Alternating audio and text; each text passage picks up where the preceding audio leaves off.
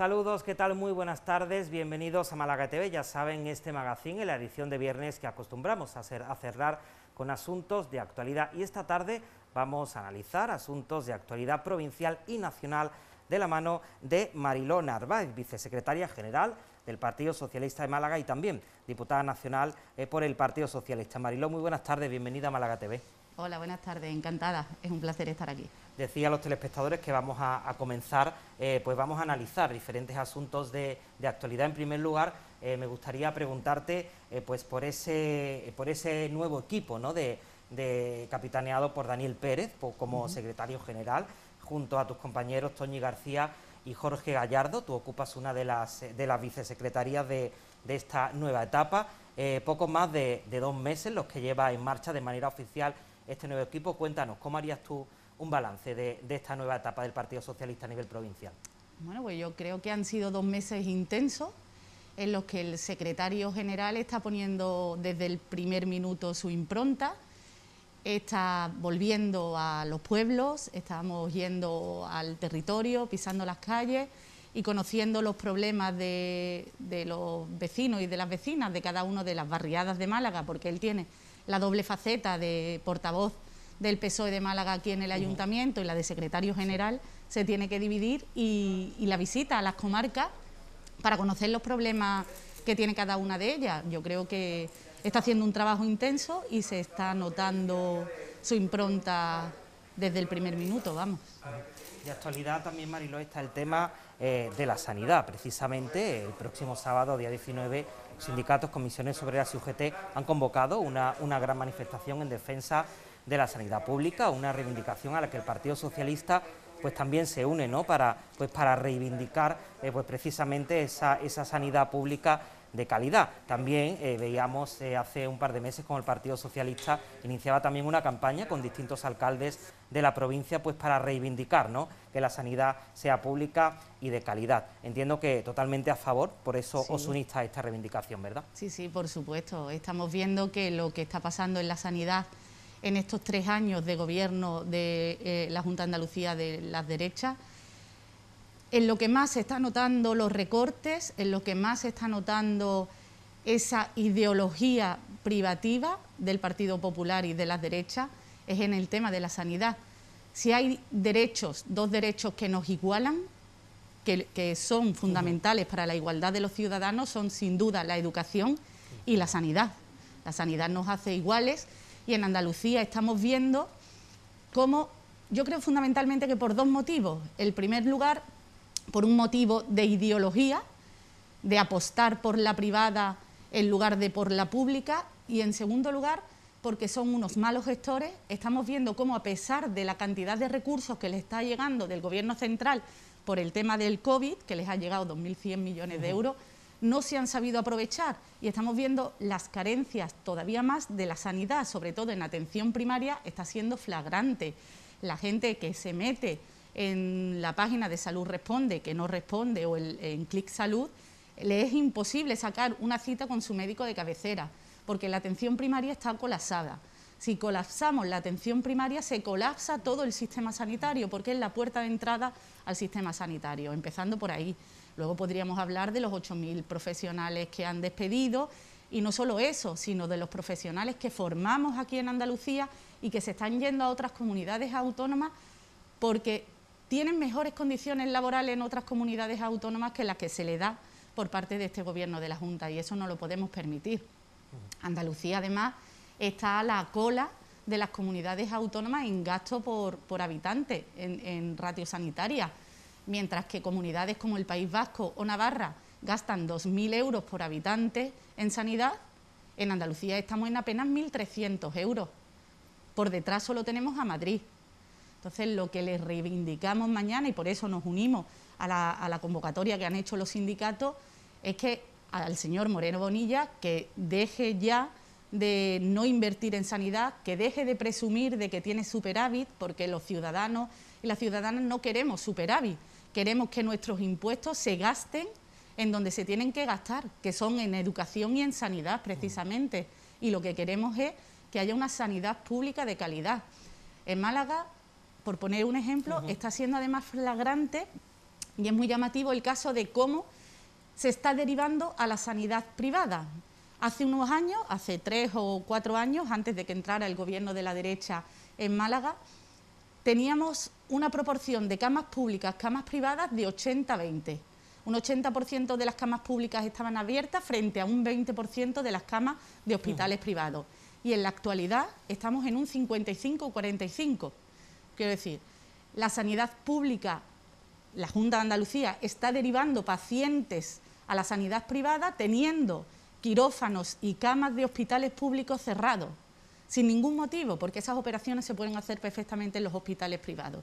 Y eso es lo que pedimos, que no se desmantele la sanidad pública y que podamos los ciudadanos tener una sanidad pública de calidad, porque además cuando baja la calidad de la sanidad pública, indudablemente también baja la de la sanidad privada. Es así porque no tiene tanto con lo que competir y mañana le exigimos al señor Moreno Bonilla que escuche a los profesionales sanitarios, que escuche a los sindicatos y que escuche a los ciudadanos que vamos a salir a las calles de todas las provincias de Andalucía diciendo que volvamos a tener una sanidad pública de calidad y que se apueste por los servicios públicos.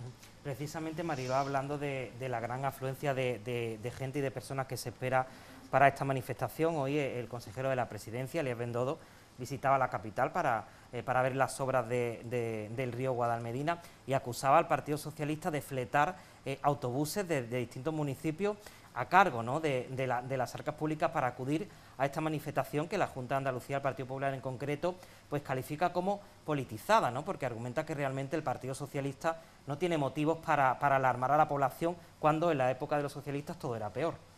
Bueno, pues no, es cierto, los, datos están ahí y lo que hay que decirle al señor mm, Elías Bendodo es que los incumplimientos de la Junta en estos tres años han sido notables. En Málaga, el hospital del palo que prometieron no está hecho, el macrohospital que va por aquí, por esta zona, tampoco hay absolutamente nada.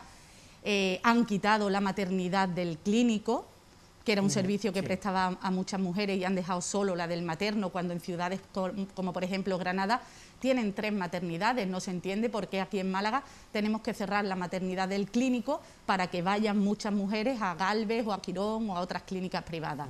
Es decir, en Málaga se está viendo de manera significativa cómo la Junta de Andalucía está apostando por una sanidad privada, por incentivar la sanidad privada, lo mismo que la educación privada.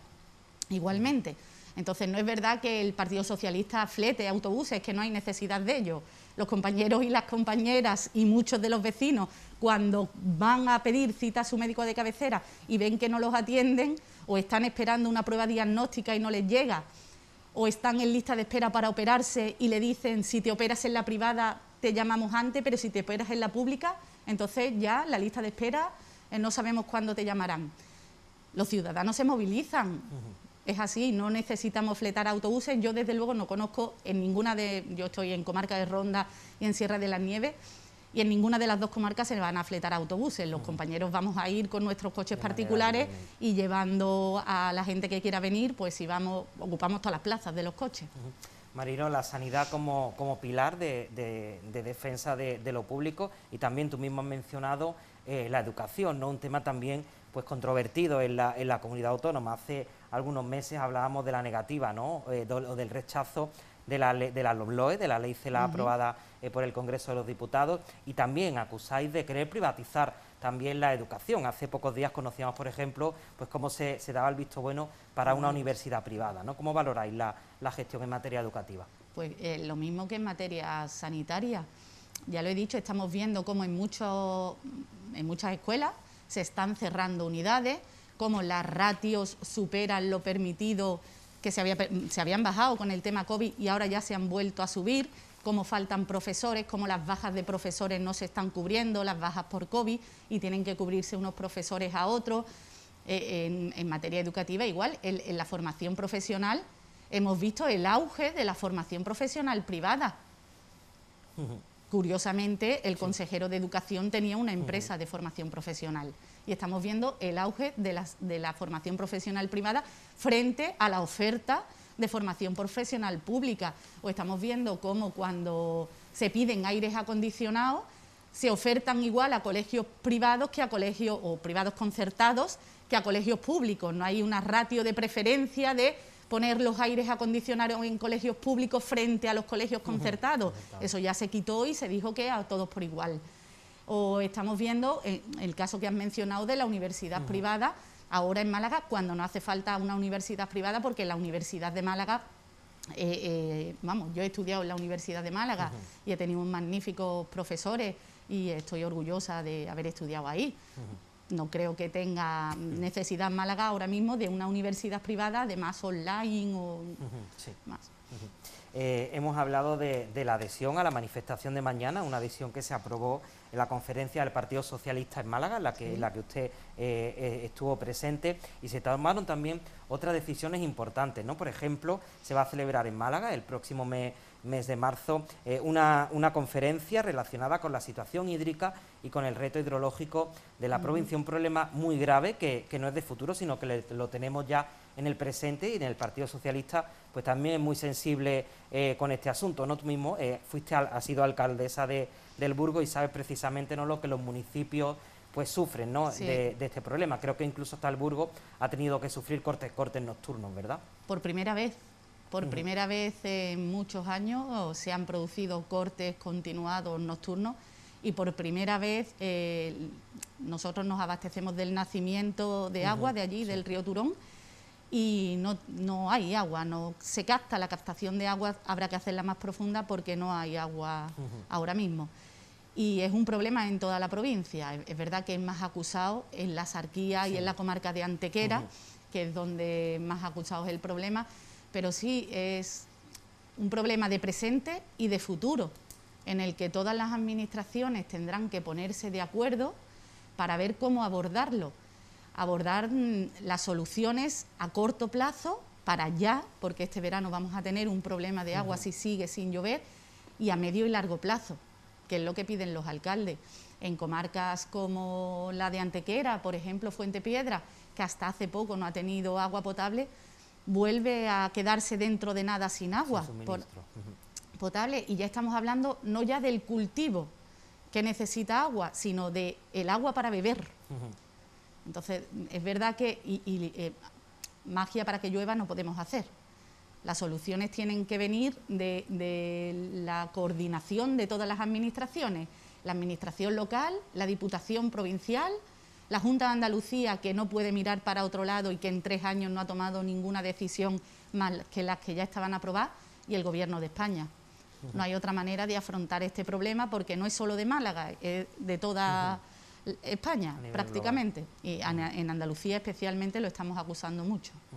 Vamos a seguir hablando de, Andalucía porque ayer eh, Juan Espada, el secretario general de, de los socialistas andaluces, presidió aquí en Málaga el comité director del Partido Socialista. Eh, muchísimos titulares, pero bueno, eh, los periodistas sabes que siempre nos gusta destacar eh, dos titulares claros. Estáis ya preparados para ganar las elecciones y sobre todo para, para, luchar ¿no? contra, contra la extrema derecha.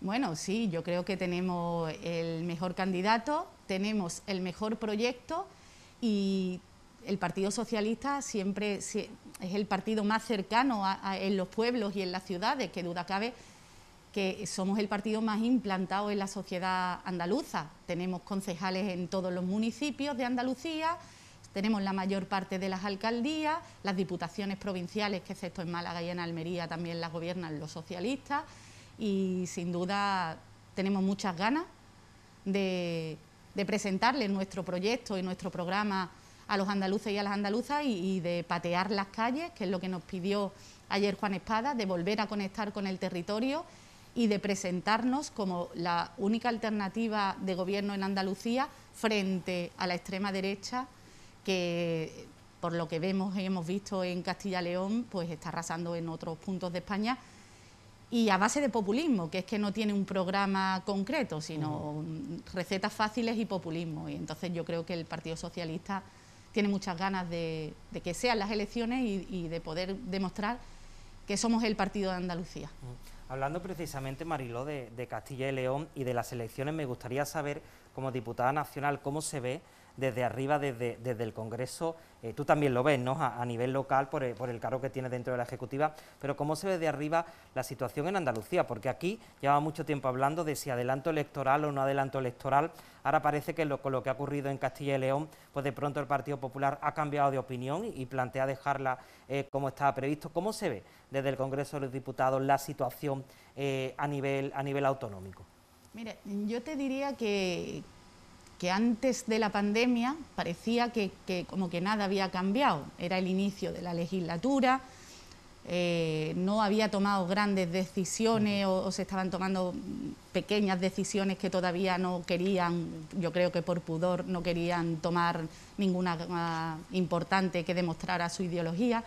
Pero después de la pandemia y con las exigencias de voz, es verdad que ya se está viendo que la gente está empezando a ver como en sanidad, porque ya no es por COVID, o en educación, cómo está empezando a ver que, no están gestionando mejor que lo que gestionábamos nosotros, que están siendo malos gestores. Esto está dicho además por profesionales sanitarios y por profesionales de la educación, que están gestionando mm, muy mal. Han gestionado muy mal los fondos de la pandemia y están gestionando muy mal. Y yo creo que ahora se ve con más ilusión, con un proyecto renovado y con ganas de volver a, conectar con la gente.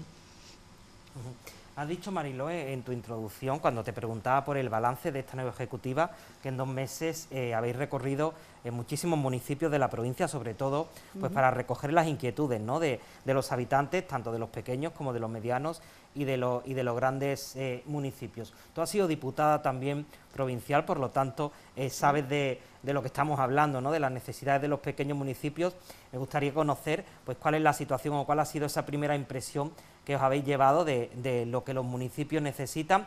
Pongo un ejemplo muy claro, estuviste la semana pasada, por ejemplo, en Archidona y vais a, reclamar a la Diputación Provincial que abra ya en la residencia eh, San Carlos. Yo no sé si en tu época, cuando eras diputada, ya se hablaba eh, de este asunto, pero yo sí recuerdo que es un asunto del que ya llevamos varios, varios años hablando, ¿verdad? Sí, bueno, para los pequeños municipios, para los municipios menores de 20.000 habitantes, la Diputación Provincial es fundamental sin la Diputación, la mayoría de los municipios no tendríamos los servicios que eh, nos presta la Diputación y tiene que funcionar mejor de lo que está funcionando hasta ahora. La residencia la cerraron, lo mismo que la cerraron con posterioridad a mi época de diputada provincial, pero cuando yo estaba de diputada provincial, por ejemplo, cerraron la escuela de enfermería. En una decisión sin ningún tipo de nada de consenso ni de nada, simplemente porque se les antojó cerrar la escuela de enfermería de la Diputación y ahora vemos que se necesitan profesionales sanitarios y que no son suficientes con los de la escuela de Ronda o con los de la Universidad de Málaga. Cerraron la guardería infantil también que tenía la Diputación y ahora la, residencia que también la cerraron. Y es para los municipios prestar esos servicios es fundamental, no solo por el servicio que prestas a los mayores, sino por los puestos de trabajo que generan y todo lo que conlleva alrededor. Y la Diputación de Málaga, no en estos cuatro años, esto se viene arrastrando ya desde el 2011, desde que gobierna el Partido Popular en la Diputación, está dejando de lado a los pequeños municipios y se está centrando en las grandes poblaciones. Yo recuerdo que yo se lo he echado en cara al señor Elías Bendodo cuando era presidente de la Diputación y ellos dicen que lo dedican a los grandes municipios la mayor parte de sus recursos porque ahí está la mayoría de la población. Pero no debemos olvidar que la Diputación Provincial no está para repartir el dinero por población, sino para cohesionar el territorio. y, es una función elemental la que tiene de cohesionar todos los territorios, desde Casares, Ronda, la comarca de Antequera hasta la Sarquía. Las carreteras de la Diputación Provincial de Málaga están de pena yo puedo hablar de la carretera de la Diputación Provincial que tengo en mi municipio, que llevamos más de 10 años reivindicando y que no se ha arreglado ni un solo kilómetro de carretera, que hay carriles que están mejor que la carretera esa. Entonces la Diputación está haciendo en muchos casos dejación de sus funciones y para los municipios pequeños nos mata. Vimos también cómo eh, nosotros cuando gobernábamos implantamos un sistema muy bueno que era el de la concertación y pudimos ver que del 2010 o 2010 al 2011, 12, hubo un recorte brutal de casi 200.000 euros, te estoy hablando en un municipio de 2.000 habitantes. Entonces, esas cosas, 200.000 euros para un presupuesto de 2 millones de euros es fundamental. Y la Diputación debería centrarse más en los municipios pequeños, en, temas como volver a abrir la residencia de Archidona o la Escuela de Enfermería Llana, ni se lo plantea, pero bueno, son temas que debería abordar la Diputación Provincial desde ya y tiene recursos para hacerlo y debería hacerlo. Y ahora que está Mariló en el, Congreso, en la Diputación Provincial, eh, los grupos políticos presentan eh, muchas mociones instando eh, al Gobierno central a determinados asuntos. ¿no? Se me ocurre, por ejemplo, en el último pleno, en el último pleno ordinario, pues se instaba a uno de los grupos, pues por ejemplo, pues aliviar la situación de las personas mayores en los municipios con respecto a los bancos, ¿no? a los cajeros automáticos que en muchos municipios pues no tienen acceso ¿no? A, a la banca porque no hay sucursales bancarias, porque no hay eh, cajeros. ¿Llegan realmente esas iniciativas que se presentan eh, en las diputaciones? ¿Llegan realmente al Congreso de, los Diputados o se queda un poco ahí? Llegan como petición que hace, pero luego es verdad que si el grupo político al que le corresponde no la impulsa en la comisión, entonces se quedan un poco como en el olvido. Es decir, si en este caso aunque sea por consenso entre el, allá se iba a aprobar por unanimidad, no sé, PP, PSOE Izquierda Unida, y ninguno de los tres grupos la impulsa en una comisión, pues se queda un poco como en, el limbo. Aunque es verdad que el Gobierno de España está tomando medidas en el tema de la despoblación. Por ejemplo, claro. Y, la ministra de Economía ya ha dicho que, que a los bancos le ha dicho y a las cajas que tienen que poner los medios en los pequeños municipios y cajeros automáticos para que no se vea afectadas esas personas y sobre todo discriminadas, ¿no? A lo mejor con respecto a otro, otro municipio. Mariló, eh, otro asunto. Hace, hace un par de semanas, alcalde de, algunos municipios gobernados por el Partido Popular y también el propio presidente de la Diputación Provincial viajaron a Bruselas pues para pedir allí un reparto eh, más justo, eh, más equitativo de, los fondos europeos. Ellos argumentaban que, el Gobierno central pues, no se había aportado con Andalucía como realmente pues merecen, merecen los andaluces, pedían más transparencia y más gobernanza en la gestión de, estos fondos europeos. Sin embargo, los socialistas acusáis a Juanma Moreno pues de no saber o de no poder gestionar esa gran cantidad, ¿no? ¿Dónde está ahí realmente el equilibrio? No, lo dijo él. Él mismo dijo que no le iba, a, dar tiempo a gestionar todo el dinero, a gastar todo el dinero que se le había mandado. No es que lo digamos los socialistas, lo dijo él, lo reconoció él. Andalucía es la segunda comunidad que más fondos ha recibido. Y, si no tenemos los proyectos y el gobierno no ha trabajado para que esos proyectos se lleven a cabo y, sean viables, pues difícilmente se les podrá aprobar, que esto ya no solo depende del gobierno de España, depende también de, de los requisitos que pone la Unión Europea. Y es una pena que en la comunidad que tenemos un desempleo estructural como el que tenemos y una de las tasas de desempleo más altas de toda España, no podamos gastar e invertir todos estos fondos que nos están llegando, porque supondría un revulsivo para nuestra comunidad, para el empleo y, para generar riqueza y un nuevo modelo económico. Marilo, eres eh, considerada eh, por los medios de comunicación como sanchista, ¿no? Estaban los susanistas eh, y las sanchistas. En este caso, pues aprovechando que, trabajas además codo con codo en el, Congreso con Pedro Sánchez, con el presidente eh, del Gobierno. Eh, lo vemos por aquí, por la, por la provincia. Hace, hace algunas semanas vino, por ejemplo, a visitar la, Sierra de las Nieves, tras la declaración de, Parque Nacional. Eh, me gustaría que nos pusieras algunos ejemplos por, por tratar un tema más local de cómo se trata a, Málaga, cómo se trata a nuestra provincia en el, en el Congreso de, de los diputados. Haznos saber que estamos presentes y que no, y que no estamos pues olvidados, como dice, por ejemplo, la derecha. Bueno, la declaración de Parque Nacional, yo es que soy de la zona. Yo he sido alcaldesa y, y, hemos impulsado desde la mancomunidad la declaración de Parque Nacional, entonces para mí ha sido todo un orgullo poder haber impulsado, haber visto cómo nacía el proyecto en el año 2011 y haber estado de ponente en la ley en el año 2021 cerrando el ciclo. Y que viniera el presidente a la Mancomunidad de Municipios Sierra de las Nieves a, visitarnos, nos ha puesto en el mapa. Ayer me decía precisamente la alcaldesa de Tolós que, ha sido un revulsivo para su pueblo que venga el presidente, porque en tan solo un fin de semana les estaban llegando las llamadas y, eh, y le pedían al balneario visitar Tolos, se había llenado el balneario, se habían llenado hoteles. Sí, otro reclamo turístico ha que sido un la economía, claro. El Gobierno de España, a través del Ministerio de Turismo, nos aprobó, por ejemplo, una subvención para Sierra de las Nieves de 4 millones de euros prácticamente para el turismo sostenible y había otros municipios también a las que se le ha aprobado, Marbella, Vélez, para el desarrollo de turismo sostenible. Y ahora con los fondos europeos también vamos a tener una oportunidad de que lleguen a Málaga numerosos proyectos. Y, yo creo que a Málaga se le está tratando bien. Hay temas pendientes que tendremos que terminar de desarrollar, eso es cierto. Eh, el tema del agua, por ejemplo, las infraestructuras de agua es una de las cosas que tendremos que abordar, desde el Gobierno y que se tendrán que poner en marcha, pero yo creo que el Gobierno de España trata bien a cada una de las provincias andaluzas. Marilo, vamos a continuar hablando todavía un ratito más, pero llegamos ya prácticamente a la mitad del programa y tenemos que hacer una pausa para la publicidad, si te parece, y, y enseguida estamos de vuelta.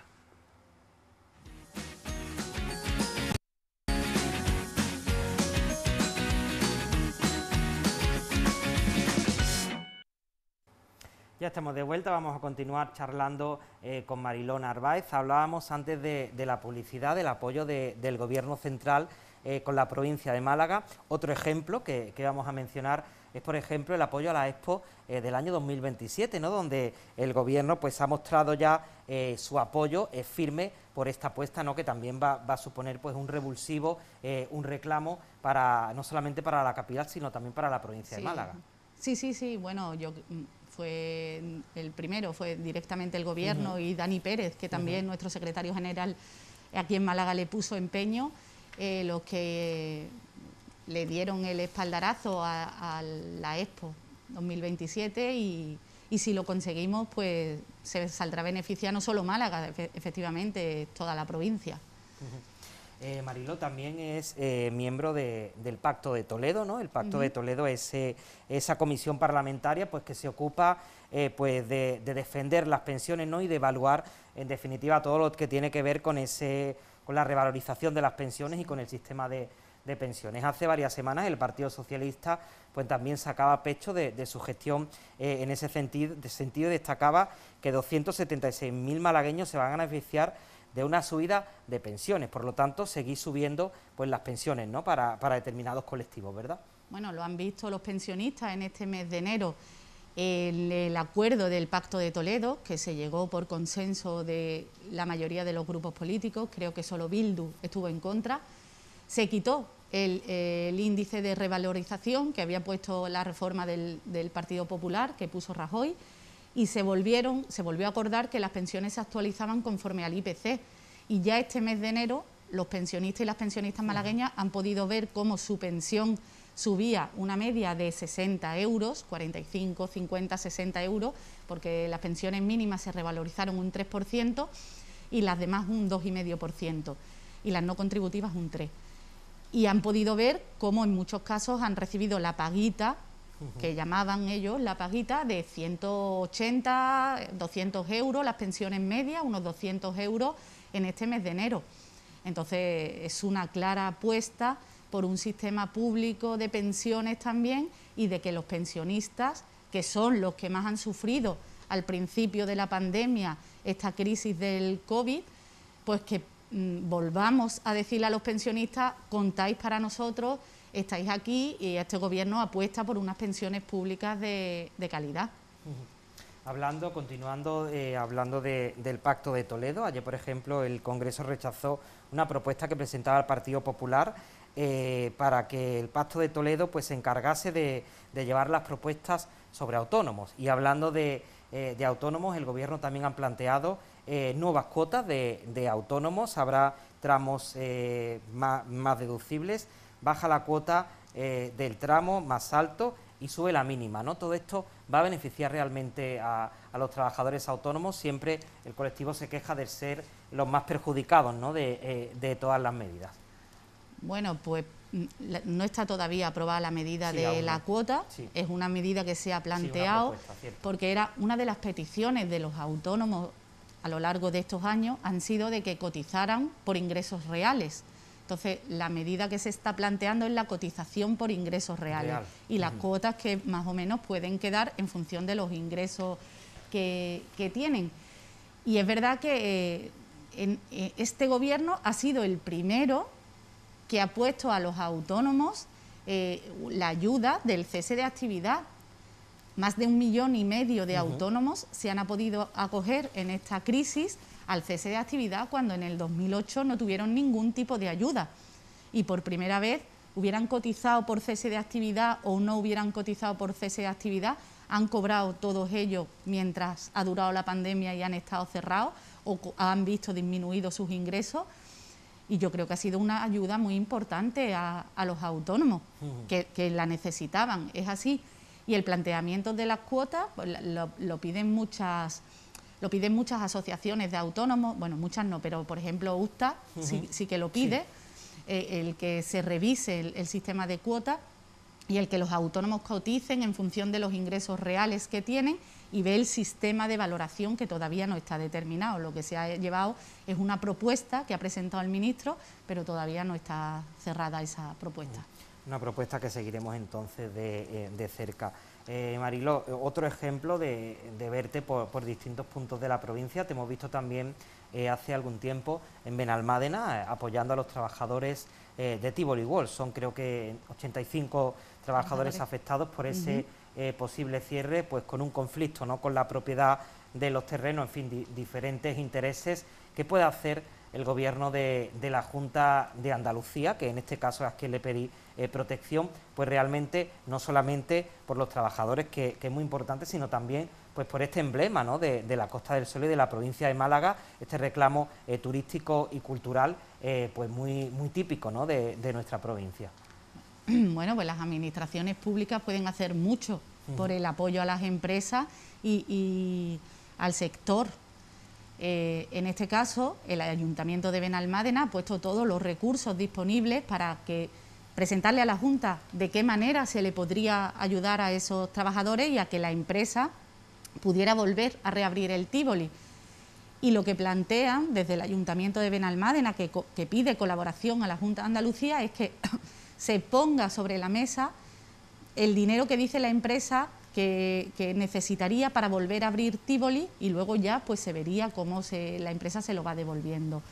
Pero la Junta de Andalucía sí que puede intermediar, por una parte intermediar con la empresa y por otra parte poner el dinero que se necesita para que sea viable volver a abrir Tivoli. Eh, otro, otro asunto, volviendo a hablar de, los trabajadores, es también eh, la reforma laboral, ¿no? Algo que, el gobierno eh, del Partido Socialista y de Unidas Podemos pues se encuentra muy satisfecho por, por, sacarla, por haberla sacado adelante. Usted mismo eh, decía que es la única reforma de las seis que se han aprobado que recupera derechos de, los trabajadores. Ha contado con el apoyo de los sindicatos y con el apoyo de, la patronal. Tiene muchos objetivos, entre ellos atajar la temporalidad y el desempleo, dos grandes problemas del mercado laboral, ¿verdad? Pues sí, yo eh, veo que estás bien informado en uno de los vídeos que hice, es cierto que digo que eh, es la primera reforma de todas las que se han planteado en la que se, devuelven derechos a, los trabajadores y es una reforma fruto del diálogo social entre sindicatos, trabajadores y el gobierno. Y si se han puesto de acuerdo ellos que tienen ideologías diferentes y demás, el Congreso no le quedaba otra que revalidarla, porque es una mm, reforma en la que únicamente con la ultraactividad indefinida, que, es, que plantea la ultraactividad indefinida, ya valdría esa reforma. Es decir, los, sindicatos dejan de tener la espada de Damocles encima para poder negociar los convenios colectivos. El objetivo de la reforma laboral, como bien dice, es crear seguridad en el empleo y, y, que la mayoría de los trabajadores sean indefinidos. Estamos viendo ejemplos de trabajadores que se han tirado 10 y 12 años en la misma empresa encadenando contratos temporales y que por primera vez en su carrera laboral, después de 12 o 15 años, han firmado un contrato indefinido. Eso es por lo que apuesta este gobierno, porque los trabajadores sigan recuperando derechos y, y tengamos una calidad y un empleo estable, subir el salario mínimo interprofesional. En estos tres años se ha subido el salario mínimo de 660 euros a 960, que está ahora casi 1.000 euros se está planteando ya la subida del salario mínimo para 2022. Esas son las apuestas y, las leyes por las que este Gobierno eh, está luchando y, llevará al, Congreso y espera el consenso de todos. Marino, imagino que, estuviste presente ¿no? en, la, votación de la reforma laboral y fuiste testigo en primera persona pues, de lo que ocurrió ¿no? con, el, diputado eh, Alberto, Alberto Casero. ¿no? Imagino que sabrás que, que, hoy mismo el juzgado de instrucción número 2 ha archivado la causa porque el Partido Socialista lo denunció y ha dicho que, que no hubo delito informático, por lo tanto la jueza ha cerrado la causa. No sé cómo se vivió en el, en el, en el hemiciclo eh, eh, esos momentos, ¿no? Fue, yo creo que la jornada más emocionante que hemos tenido en el hemiciclo e incluso la más surrealista, porque era una cosa otra, pero si nos centramos en lo del diputado Alberto Casero, yo creo que no es lo verdaderamente grave, sino los dos diputados de Unión del Pueblo Navarro que habían dicho esa misma mañana que iban a votar que sí a la reforma laboral y que su partido había apoyado la reforma laboral pactada por sindicatos y empresarios y que en el momento de la votación votaron que no. Es una anécdota que, mm, bueno, la justicia divina o lo, como quieran llamarlo, que Alberto Casero se equivocara en su casa, que es verdad que yo, que esta semana por el COVID no pude ir, sí que he votado telemáticamente y, no es que te pidan una vez que pinche, es que tienes que confirmarlo hasta tres veces el voto. E, es, difícil que haya ahí un error informático porque compruebas tres veces que el voto, el, sentido de tu voto es el correcto. Entonces, ahí está, pero ya digo, lo de Alberto Casero es una mera anécdota y para mí lo realmente grave es los dos diputados de Unión del, Pueblo Navarro que votaron que no, habiendo manifestado que votaban que sí. Acabas de mencionar en la, pregunta anterior eh, otro de los hitos importantes del Gobierno es la subida del salario mínimo interprofesional con carácter retroactivo a los 1.000 euros a, partir de, desde el pasado 1, de enero. Eh, los sindicatos están a favor, pero la patronal, por ejemplo, se opone a, esta subida del salario y argumenta pues, que puede ser un riesgo para el empleo y para los trabajos eh, no cualificados. ¿Cómo valoráis, Marilo, desde el Gobierno, esta postura de la patronal? Bueno, es algo recurrente en la patronal, siempre el argumento es el mismo. Cuando se subió a 900 euros decían también que no se iba a crear empleo y estamos ya en 20 millones de, empleos eh, que se han creado, a pesar de la subida del salario mínimo o con la subida del salario mínimo. Entonces, para la patronal es, ya los ciudadanos están acostumbrados a escucharlo, es un argumento recurrente el de no subimos, no estamos a favor de subir los salarios porque vamos a, destruir empleo y estamos viendo que e, ese axioma no se cumple siempre, porque se ha subido el salario mínimo y se está creando empleo. Ya digo, 20 millones de, empleos hay ahora recientemente.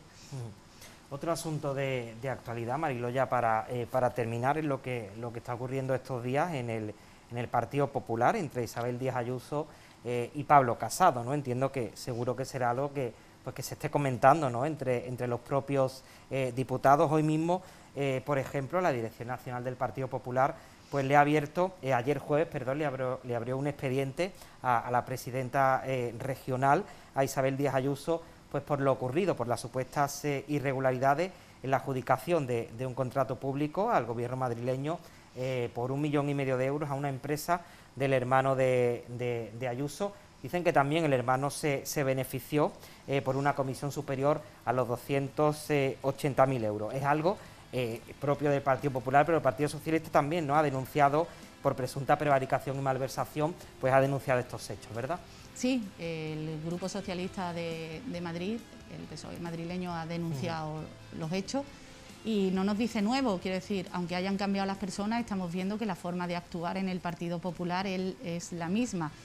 No sé si la jueza o el juez al que le toque lo considerará delito o no, pero cuanto menos es reprochable moralmente que en la primera ola de la pandemia, cuando había esa falta de material sanitario en el que había, cuando morían tantos de nuestros mayores y demás, y, los sanitarios se veían que no tenían material, se haya hecho esa mordida de 280.000 euros el hermano de la presidenta, es decir, que es que es tu propio hermano el que has beneficiado con un contrato, eh, eh, no sé si delito, ya digo, ya eso la justicia lo dirá, pero moralmente reprochable sí que es. Pues Mariló, eh, llegamos ya a la final de, esta entrevista, yo creo que hemos hecho un, repaso, no tanto por la actualidad provincial como por la actualidad nacional importante. Te damos la enhorabuena pues, pues por ese trabajo y muchísimas gracias por venirnos porque además continúas con esa con esa agenda y creo que ahora tenéis un acto también importante para hablar en la provincia de la reforma laboral, ¿no? Sí, así es. Ahora voy a la agrupación socialista de Churriana para hablar de, la reforma laboral y, pues de lo que supone. Muchísimas gracias por acompañarnos esta tarde en Málaga TV. Gracias por tu tiempo. Ha sido un placer.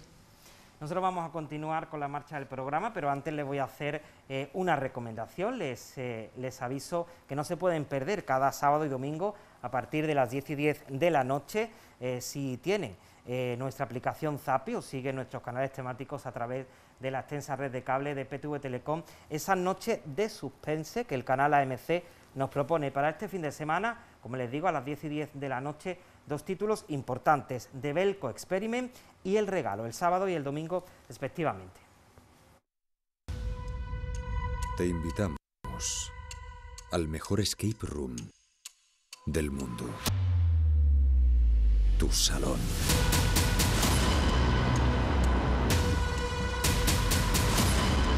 Noches de suspenses, sábados y domingos en AMC. AMC, tienes que vivirlo.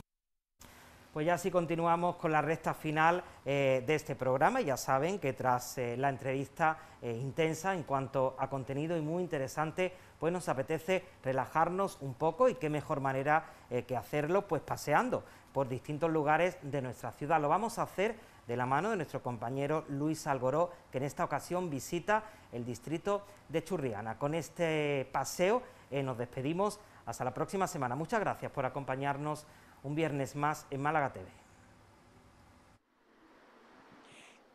Y en Pasear por Málaga, como cada semana hacemos en PTV, queremos acercarnos a calles, a lugares, a rincones de la ciudad de Málaga que les acercamos a través de su historia, pero también a través de las personas que nos encontramos en nuestro paseo por la ciudad. Hoy en, es el caso de mi compañero Pablo y yo, que vamos pues eso, a descubrir de cerca lo que es este rincón que encontramos en Churriana, en este distrito de Málaga, en esta barriada, hoy en la calle Torremolinos, que luego veremos el porqué, la importancia de que haya una calle con el nombre de Torremolinos. Hablaremos con los vecinos y vecinas que, como le decimos, encontremos en este camino. Hablaremos de aspectos tan importantes como la casa llena Albenan que tenemos justo en el corazón de esta calle Torremolinos y en el corazón de Churriana. Y por supuesto les acercaremos una semana más aquellas curiosidades que quizás no conozcan de esos rincones llenos de vida, llenos en este caso también de muchísimos vehículos que pasan porque es una arteria principal del distrito.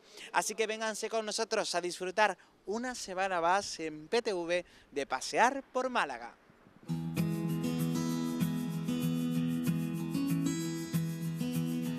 Y hoy nos encontramos en la calle Torremolinos, que debe su nombre a la unión que existía entre la barriada de Churriana y lo que era la barriada de Torremolinos. Finalmente se separaron y ahora, como ya saben, Torremolinos es un municipio independiente de la ciudad de Málaga.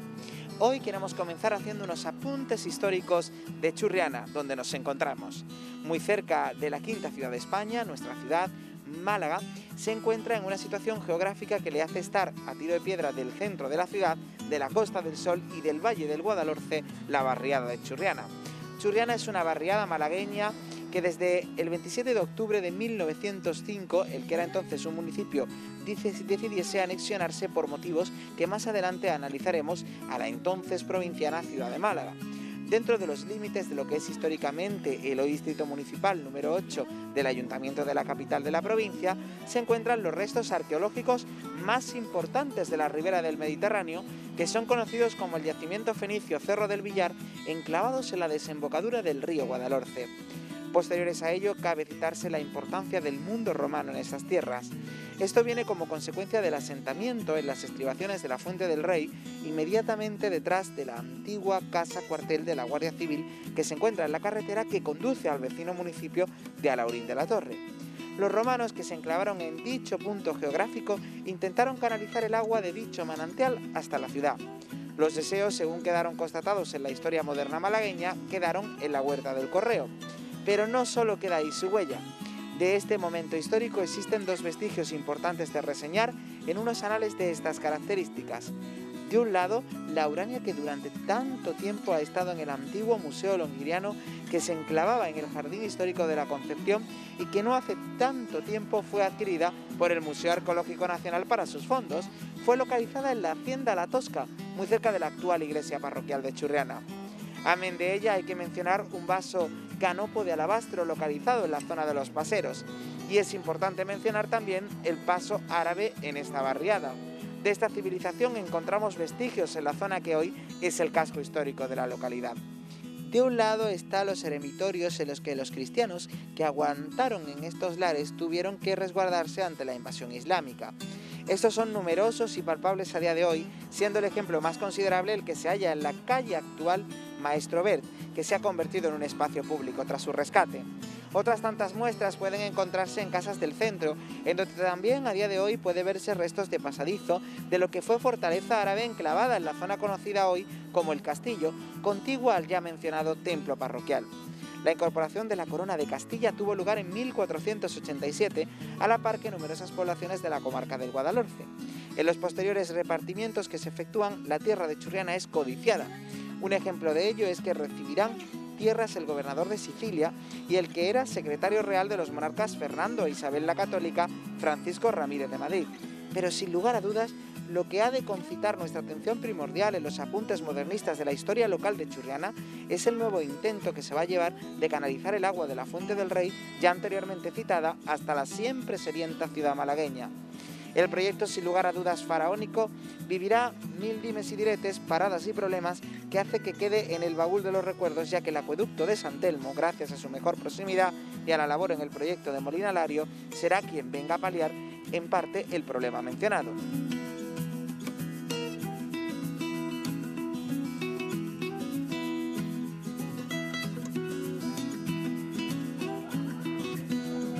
Y aquí estamos, en esta calle Torremolinos. Yo tengo que reconocer que les estoy contando la historia de Churriana y yo le pongo mucho cariño porque también aquí está la historia de mi familia materna, que toda es de, de Churriana y yo le tengo un especial cariño a este distrito y además tengo la suerte de venir de vez en cuando también a presentar algunas cositas y hacer algunos, bueno, a trabajar también por aquí. La verdad que siempre nos encanta venir a Churriana.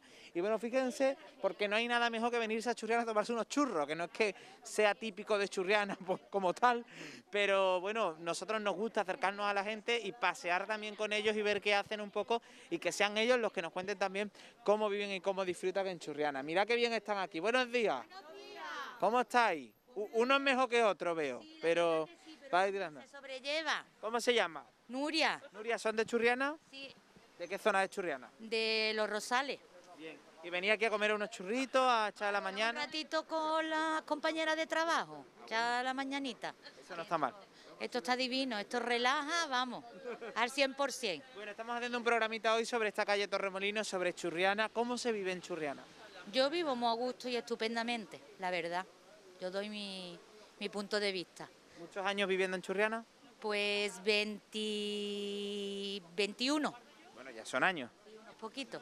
¿Cómo ha cambiado Churriana en esos 21 años? Porque habrá cosas que habrán cambiado, ¿no? Hombre, la verdad es que sí, que por ejemplo cuando yo me vine a vivir lo que había era campo y, y ahora pues muchas casas, muchos...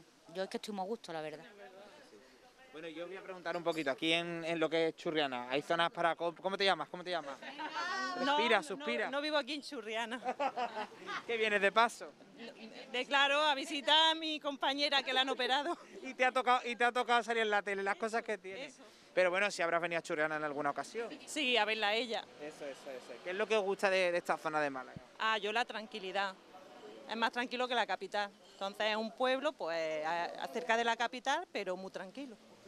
Oye, como curiosidades, en est- en, este, en estos establecimientos de Churriana fueron de los primeros sitios donde se probó el euro. No, sabes no sé si lo sabéis, pero Churriana fue el lugar de toda Europa elegido para poner a prueba el euro y aquí se lió lo más grande. ¿Usted se acuerda de ese momento? La verdad que no, yo de ese momento no me acuerdo. No le dieron euros para probar, ¿no? A mí no. te hubiera quedado con las pesetas, ¿no? Que yo me... hombre, que me quedo con las pesetas, ya veis que me quedo. Bueno, hay que destacar de Churriana, ustedes de aquí, la cercanía también con la playa, ¿no? La movilidad, ¿no? Eh, La verdad que todo. Yo cojo el coche, pero lo tengo todo muy cerca. Cojo la autovía, si no es el Plaza Mayor, si no... Yo es que estoy muy gusto, la verdad. bueno, y se puede comprar por aquí, hay establecimientos Sí, cerca. sí, hay de todo, de todo. Lo único que es más eso es la ropilla y cosas, pero vamos, tenemos el Plaza Mayor a tres minutos, que tampoco... Muy rápido entonces a comprar. Sí, sí, yo me manejo muy bien. Bueno, ¿y por aquí son churrianeras o dónde son? De- de- del centro, ¿no? Del centro, ¿no? Bueno, ¿pero os gusta churriana o no? Sí, sí, claro. ¿Qué estáis, qué estáis tomando? Unos cafelitos y unos churros. Este gringo bueno de Málaga, ¿no? Sí, sí, sí. Café, Pablo, ¿tú quieres café, Pablo? ¿Tú quieres? Sí. Sí, sí, dice Pablo que sí quiere un cafelito. Qué maravilla, qué maravilla. Bueno, pues muchísimas gracias. Que se mejore, que se recupere y que siga invitando a sus compañeras a Churriana. Y imagino que invita a todo el mundo a que se venga a vivir a Churriana, ¿no? Yo sí, la verdad que sí, yo lo aconsejo. Que vengan por aquí, ¿no? Sí, Pues muchísimas gracias y os dejamos seguir disfrutando, ¿de acuerdo? Muchísimas gracias. Bueno, y nosotros seguimos disfrutando eh, de Churriana. Mira este caballero, que viene también de tomarse unos churritos, ¿no? Buenos días, caballero. Salam alaikum, Salam aleikum. ¿Cómo se llama usted? Meji, ¿Vive, ¿Vive aquí, en Churriana? Churriana, mucho tiempo, Mucho tiempo. ¿Y qué le gusta de Churriana? todo, todo muy bonito, bueno, perdona, muy, todo muy bonito de Churriana. Muy bonito, ¿no? Sí. Además está cerca a la playa también, lo tiene todo cerca. Los Torremolinos, Torremolinos, todo. Muy bien. Bueno, fijaos, una zona muy cultural donde se viven todas las, la- las sensa- las sensibilidades, las religiones, donde, donde se comparten eh, pues todos los- todas las nacionalidades, quería decir. Sí. Bueno, muchas gracias, voy con las mujeres, muchos días, gracias. Pues nada, disfrutar del día. Gracias. disfrutar del día. Bueno, pues este caballero, para que vean ustedes, es que Churriana además ha sido ese cruce de cultura también a lo largo de su historia, donde conviven muchísimas personas también como no podía ser de otra forma. Así que lo dicho, nosotros hemos empezado el día fuerte, Pablo ha dicho, hay que empezar paseando por calle Torremolinos, tomándonos unos churritos, un cafelito, hablando con su gente y nosotros por ahí hemos empezado. Pero estoy pensando yo una cosa, luego se lo cuento, vamos a seguir paseando por calle Torremolinos. Desde entonces, la fuente del rey de Churriana solo tendrá cabida en la historia para que el cabildo malacitano negocie con su agua haciendo concesiones hídricas a cambio de un canon a numerosos vecinos. Un ejemplo de todo ello se atestigua en la lectura de las actas capitulares del consistorio malacitano. En este momento histórico es también cuando surgen los primeros apuntes sobre la Semana Santa local y la constitución de la primera hermandad, de la que se tiene constancia bajo la advocación de Nuestra Señora del Rosario, quien desde ese momento se convierte en patrona de la localidad. Ya en la historia contemporánea, distintos serán los aspectos a citar para configurar la densa historia churrianera. De un lado, como por estas tierras la guerra de la independencia va a circunscribirse al ardor guerrero del entonces teniente cura Antonio Muñoz, también conocido en la historia como el cura de Río Gordo, que va a hacer frente a los franceses cuando estos llegan a los lares. Además está el proceso de segregación sobre el municipio matriz de Churriana de su barriada de Torremolinos, que estudios históricos solventes sitúan el 1 de enero de 1801.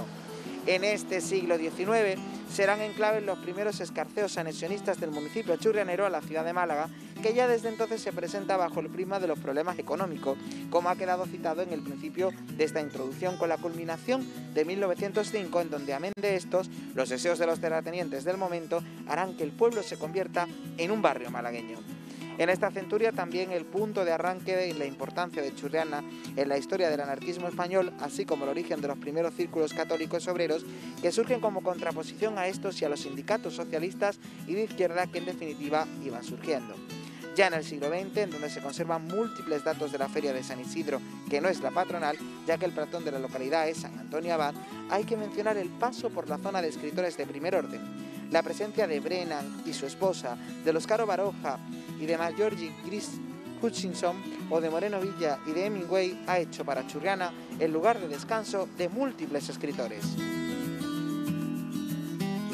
Bueno, pues aquí estamos con José, con José Flores, que estaba el pobre aquí esperando porque esta mañana se ha pinchado el coche. No había otro día más bueno, ¿verdad?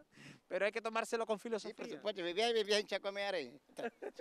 Bueno, pero mira, sido en Churriana, sido en tu tierra, entonces se lleva de otra manera, ¿no? Sí, por supuesto, por supuesto. Bueno, José, que queríamos conocer Churriana porque además usted se ha criado aquí. Sí, señor, sí, señor, desde pequeñito, de, de toda la vida. ¿Dónde se ha criado en Churriana? Pues precisamente me he criado en los portales del Popo, que le llaman, y luego he vivido aquí. Los portales del Popo, yo ahí nací y me crié, y luego me vine a la calle San Javier a vivir. Y ahora, después aquí a Fuirola. Los portales del Popo, que yo le tengo mucho cariño porque es donde ha vivido mi abuela toda la vida, mis abuelos toda la vida, y donde se han criado también muchas familias mías. Luego ya le contaré y seguro que, que conoce alguno. Eh, pero bueno, lo que estábamos hablando, ¿no? De que eh, Churriana, esta calle Torremolinos, ¿no? Eh, es una, pues una vía que conecta muchis- con muchísima gente, ¿verdad? Y que también ha ido cambiando, ¿no? La calle Torremolinos, ¿no? No mucho, no mucho. Siempre ha sido una calle Sí, así, sí, ¿no? sí, sí, pues, sí, así, sí, prácticamente así. Las casas más modernitas, más cosas, pero sí, para mí sigue igual, para mí sigue igual. Claro. Lo que es Churriana en general sí que ha cambiado, ¿no? Eh, antes se dedicaba mucho más a la ganadería, a la agricultura. va, va, poquito a poco vamos, esperemos. Poquito a poco, ¿no? Vamos, sí, sí. ¿Cómo recuerda la Churriana de cuando usted era pequeño? Pues, con, con mucho cariño, muchas cosas, mis amigos, mis cosas, mi colegio, mi, mi- mi- la vida de niño, de cosas, de ya de, de, de adolescente, de, de- del trabajo, pues con cariño, con cariño. Claro. Y era, Claro. y- era, era muy diferente, ¿no? Por aquí era, era, era muy diferente eh, también a lo que se dedicaba las personas, los trabajos, ¿no? Había mucho campo, ¿no? Ay, eh, sí, aquí había campo.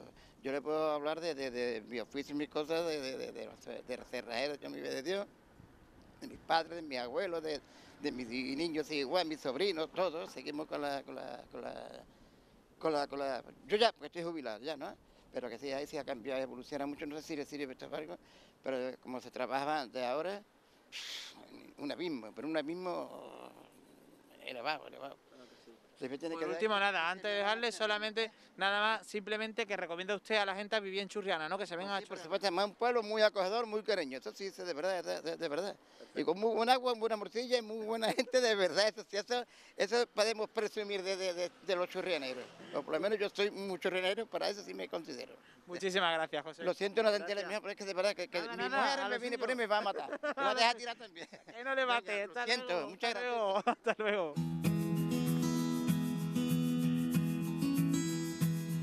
Y no podemos dejar de destacar la casa de Gerald Brennan que se encuentra en pleno corazón de esta calle Torremolinos. Gerald Brennan es un escritor británico que nació en la isla de Malta el 7 de abril de 1894, donde su padre se hallaba destinado como oficial del ejército imperial británico. Residió en España desde 1919, donde falleció en 1987. Considerado como uno de los principales hispanistas del siglo XX, Brennan, con escaso dinero y muchas ganas de vivir, llegó a España en septiembre de 1919, cuando apenas contaba 25 años de edad.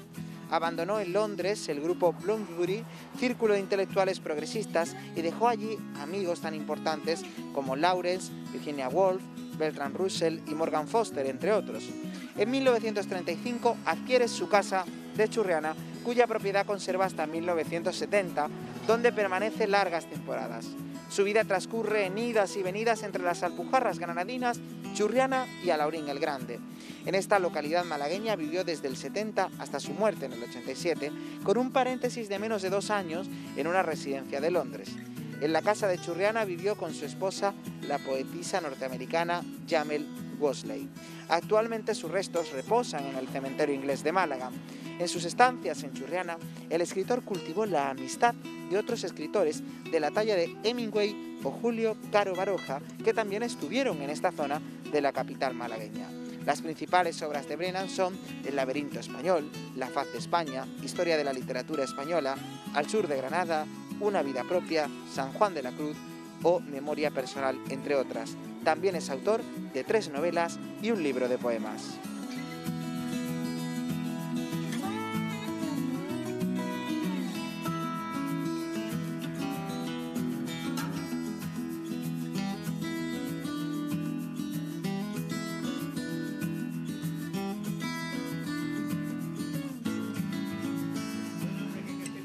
Aquí estoy yo que me he venido, yo me he venido al mercado de Churriana aquí con Isabel Laurina, porque yo, yo quería fruta, yo quería fruta, y yo, como medio churrianero que soy, he dicho, me tengo que venir yo aquí al mercado a encontrar buena gente. Y tenemos generaciones nuevas generaciones que ya llevan más tiempo. José Manuel, ¿era tu nombre? Juan Antonio, Juan Juan Antonio, perdón. Oye, Juan Antonio, yo quería preguntar, ¿cómo se trabaja en Churriana? Porque claro, queremos ver también, aquí al final ya de este recorrido, pues cómo se trabaja en Churriana. En Churriana se trabaja, pues, trabaja muy bien porque aquí el ambiente que hay, la gente, pues, te acoge bastante bien, la verdad. Aunque uno sea de fuera, pues te acoge muy bien. Y siempre te, te cogen con cariño y te acogen muy bien como en casa, vaya. Yo que soy un convencido de que hay que comprar en los comercios locales cercanos, que aquí a los mercados de los barrios, eh, bueno, qué importante es tener aquí el mercado también para los vecinos y las vecinas de Churriana, ¿no? Sí, es importante porque no solo, no solo son grandes superficies donde, tenemos, donde podemos comprar, también tenemos aquí productos de, de la zona del Valle del Guadalhorce, de aquí de la Zarquilla, que tenemos muy buenos productos y es, es muy recomendable comprar los productos de la zona. Bueno, y lo bueno de trabajar aquí es que luego tú terminas y tú dices, me voy para la playa y los pi tengo al lado, ¿no? Tenemos cerquita también, claro, los tenemos ahí al ladito, en Playa Mar, toda la zona de Torremolinos, toda la costa malagueña, que es, vamos, estupenda. Oye, tú que eres una persona joven, para los jóvenes, ¿también recomiendas esta zona de Churriana para vivir? La verdad que yo que he estado estudiando en Málaga y demás, mm, sé que mucha gente de Málaga y de fuera se están viniendo aquí a Churriana a vivir, porque es verdad que la zona está muy bien, está cerquita de todo y tiene prácticamente de todo, tiene montaña, tiene playa y tiene muy buen clima, entonces es prácticamente Ideal para vivir Churriana, esto, ¿no? vaya. buen sitio, buen sitio. Bueno, y queremos terminar nuestro pasear por Málaga, por Churriana, con Agustina, que decía, no me grabes, no me grabes, que vengo de, de hacer, de hacer actividades deportivas. de-". Pues eso es lo que yo quiero, que la gente también no deje de hacer deporte, vida saludable. Bienvenida, Agustina. En Churriana hay muchas actividades y usted las hace, que eso es importante. ¿no? Yo sí la hago, llevo 40 años haciendo gimnasia ya. ¿Dónde va usted a hacer gimnasia? Ahí al centro social. ¿Y qué actividades hacéis en Churriana? Pues mira, yo estoy haciendo ahora mismo deporte allí en la gimnasia, nos ponen muchas cosas diferentes. Y también teníamos antes este sí, pero nos los quitaron. Pero ahora hemos hecho una reclamación y dice que nos las van a poner otra vez. Qué bien. Oye, ¿y usted lleva ya bastante tiempo aquí viviendo en Churriana? Yo llevo 40 años ya aquí. Oh, ya es churrianera casi 100%, ¿no? Churrianera, sí. ¿Qué es lo que más le gusta de vivir en esta zona en Churriana? Mira, te voy a decir una cosa, mi suegra no me gusta, pero, pero vivo en ella. Nos reunimos aquí, pero ya, ya estoy más acostumbrada, pero lo primero no me acostumbraba a estar. Costaba, ¿no? Porque es más diferente, más tranquilo, ¿no? Sí, es demasiado tranquilo. Bueno, pero eh, ahora hace sus actividades y además está muy cerquita de Málaga, tiene la playa cerquita. Ah, sí, a la playa me encanta. Yo siempre me lo espero, todos los días estoy en la playa. Claro que sí, claro que sí. Bueno, y además viene usted al mercado, porque a usted le gusta comprar también en el mercado, ¿no? Yo, claro, a veces iba a comprar huevos. ¿Qué toca tortilla hoy, gazpachuelo? ¿Qué va a hacer? No, hoy voy a comer macarrones. Macarrones, macarrones, bueno, eso está bien. Bueno, Agustina, es que usted decía, bueno, es verdad que me costaba adaptarme, que al principio no me gustaba, que ya me he hecho a churriana y que, y que la gente es muy buena, como está diciendo. Yo me llevo muy bien con toda la gente de Churriana, pero yo qué sé, no me gustaba mucho. Yo vivía antes en otro sitio más alegre. Y me ¿Dónde gustaba- vivía antes? Yo, yo vivía antes en la estación de Cártama, pero aquello era más ambientado que aquí. Claro. Eh, pero ya esto está mejor que antes. Ya Aquí hay mucha más gente ahora, ha cambiado mucho las instalaciones, ha mejorado mucho Churriana, el ayuntamiento. parece ni la misma como cuando yo me vine. Claro. Está muy bien. Claro que sí. Bueno, y recomienda a la gente que nos está viendo a que se venga a vivir a Churriana y que venga a comprar y que venga a ver la casa de Gerard Brena, Claro a disfrutar sí. de Churriana, ¿no? Claro que sí, que la recomiendo. Además, mi tío está loquito con Churriana, a mi tío le encanta Churriana. Y más ahora este fin de semana que las fiestas de San Antón se aplazaron y se celebran este fin de semana, que tenéis ahí abajo un montón de actuaciones, de música. Nos falta un perejil aquí en Churriana. Ah, yo te he apuntado a todas a todas yo ahora con el coronavirus no, pero antes estaba apuntado a todo. Pues con la mascarillita bien protegida, usted va y disfruta también. Ah, yo sí llevo todas las partes. Claro que sí. Yo sí. Bueno, pues yo encantado de haber conocido a Agustina, que yo me voy a quedar aquí con ella porque me voy a ir yo a comprar, va a comprar huevos, a ver qué pillo yo también por ahí para llevarme a casa. Gracias a mi compañero Pablo, nosotros hemos paseado hoy un poquito por esta calle Torremolinos y por esta zona más cercana también al mercado de Churriana. Les invitamos a conocer Churriana y espero hayan disfrutado del programa. Ya saben, que la nos vemos. más, que la cuiden más, que no está bien cuidada. Ella quiere que la cuiden más, pues ya la reivindicación ahí queda. Así que muchísimas gracias y seguir disfrutando de la programación en PTV, paseando por Málaga. Ah, mira, eso que sale para lloverlo.